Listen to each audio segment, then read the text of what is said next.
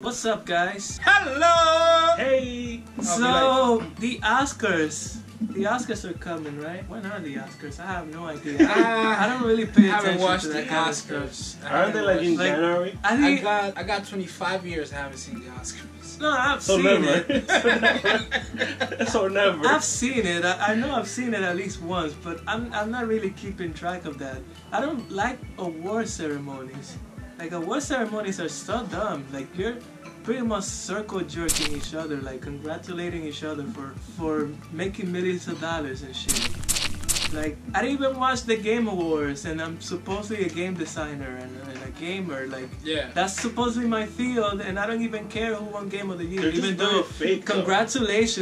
Congratulations, God of War, you deserve it. But I don't care about Game Awards. Awards just are like very fake. The way they make everything. Like, Yeah. Yeah, like The it, it's jokes like don't make sense. it's like It's so stupid. oh, let's who's the hip hop artist of the year?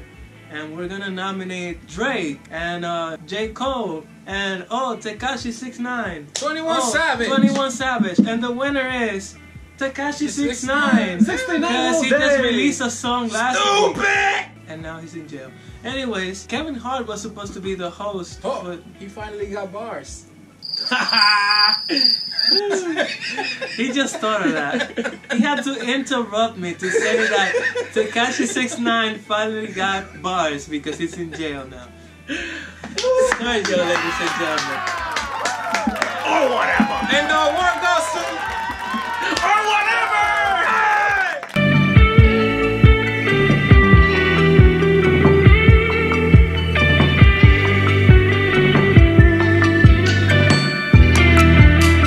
Kevin Hart was supposed to be the host for this year's Oscars. I don't know why you would go with a comedian to host an actors. I mean, Award. James Franco hosted them, I guess. And he I was mean- pretty high that day, right?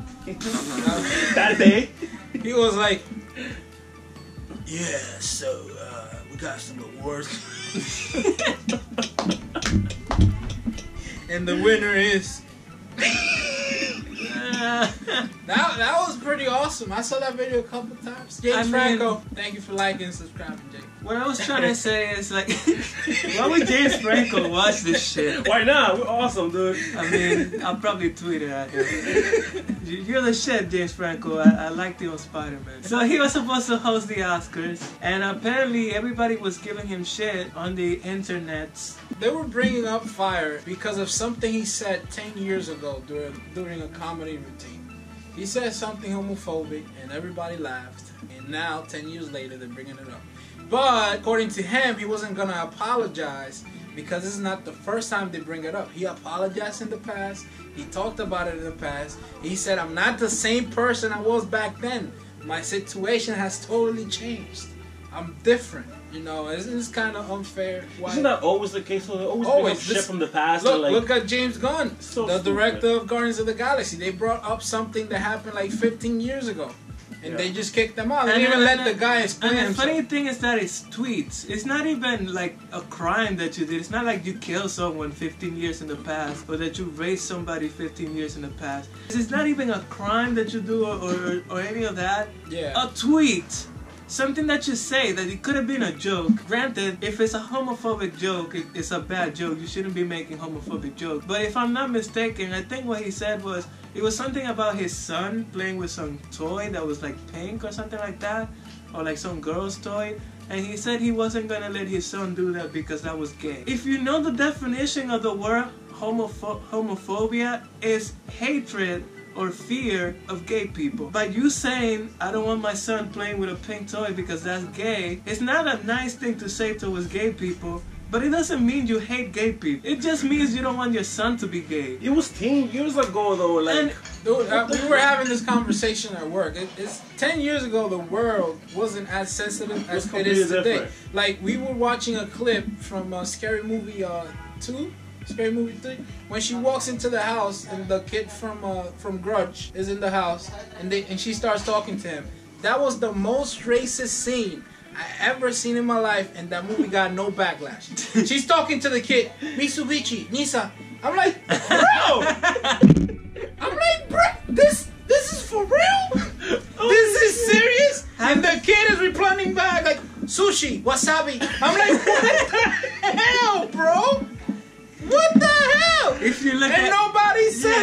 Says like, nothing. You know how much shit they would have gotten now? Dude, if you look at like any of the Wayans brothers movies, like they, they do a lot of jokes like that, and and they get away with it. Like somehow they get away with it. Like there's a lot of racist like stuff on their movies, and, yeah, and, like homophobic stuff. completely. Like there was this. I mean, I'm not even gonna get into that. Yeah. There's like a double standard for some people also. Like And and white surprised people me, can talk about black people, but if black people talk about white people, it's Yeah. fine. Like it, it's weird. what surprised me is that all this thing surface when that person is specifically has a big project coming on.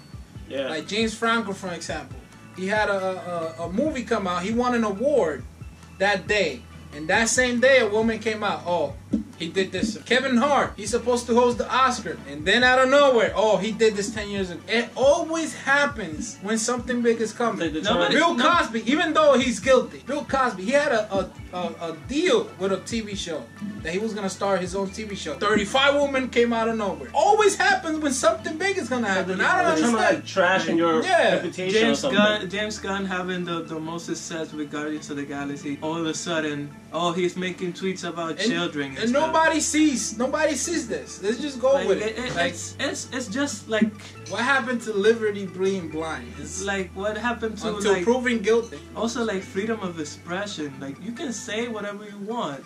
If you're offended by it, then say you're offended, but don't try to like take people's jobs because you're offended about someone. Exactly. Like if if someone says they hate Dominicans, then fuck that person. I don't care about that person.